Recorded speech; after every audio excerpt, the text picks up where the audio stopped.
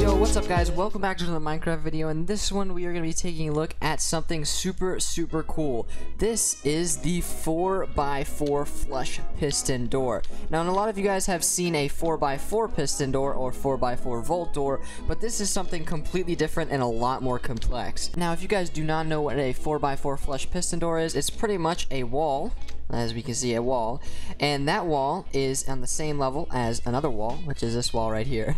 And pretty much all it does is this smaller wall that's inside the bigger wall gets folded back into a tunnel and then it will open up to either sides of uh, the extruding wall and then it will have a 4x4 tunnel for you guys to actually walk through and into your base or whatever you're building this for. But this thing is super super complicated. Not only does it have slime blocks it also has honey blocks dealing with a lot of those things can be very very tricky but also what's really really good about this design is that there is no honey blocks on the floor which once I open it I'll actually show you but yeah so enough talking let's just go ahead and uh, open this bad boy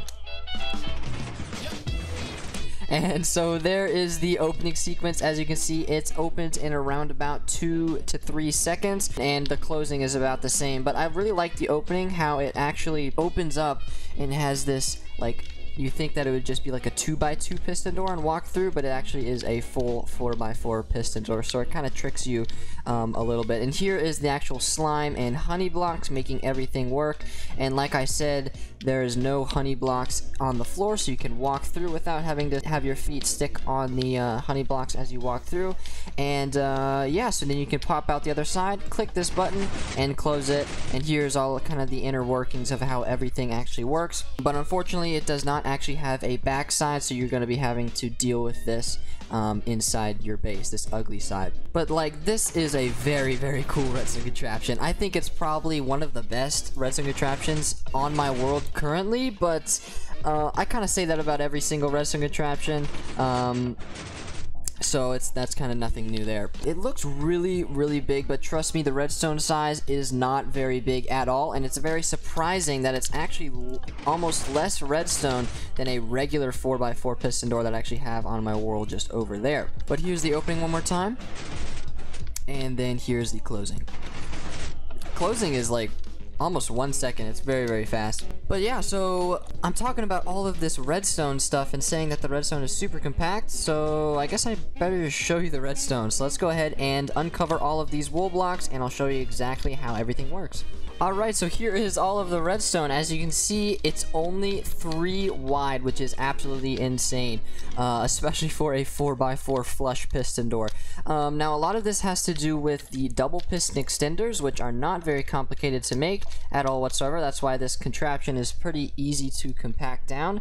But it has something to do with these double piston extenders pushing the slime block pads, or 4x4 pads, in this checker pattern uh, that actually has the door blocks on them.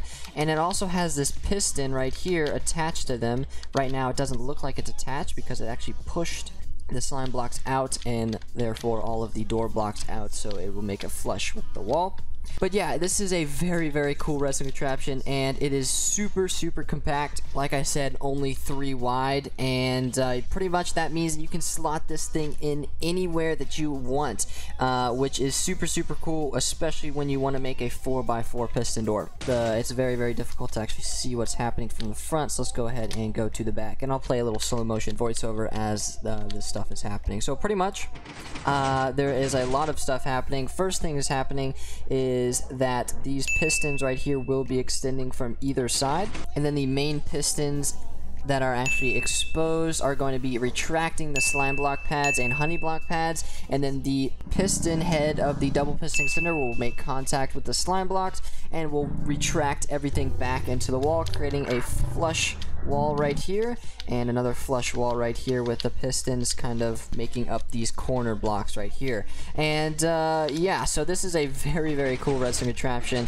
and uh, unfortunately I'm not going to be able to make a tutorial on this design in this video but if you guys want to see a tutorial on this design then make sure to put that down in the comments below and also give this thing a thumbs up. That way I will know that you guys want to see a tutorial and I will get on making that And it is definitely doable because it's only around three blocks wide, which, again, that's not a lot of redstone over here. But if you guys don't feel like scrolling through my whole entire YouTube video list to find this one tutorial video, then I'll have the tutorial, if it does get made, down in the description below, as well as in the card in the top right right now. So, you know, just click the card, you know, top right, if you guys actually want to see that tutorial, if it does get made, keep in mind. Alright, so that is the 4x4 flush piston door. Hopefully you guys liked this video. If you did, then please make sure to leave a like on the video. And if you're new to the channel, then please make sure to subscribe. And also click on that bell notification to stay up to date with all of my future videos that will release. Like I said, I am actually playing on an SMP, and you guys can actually join that SMP. So yeah, definitely go ahead and check that out because it is a lot of fun to put together. Anyway, thank you guys so much for watching, and I'll see you guys in the next one. And uh, goodbye. And